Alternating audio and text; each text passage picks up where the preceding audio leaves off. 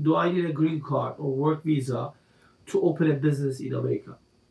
No, just like you don't need to be a citizen to start a company in the US, or you don't need to have work permits like a green card or, or work visas.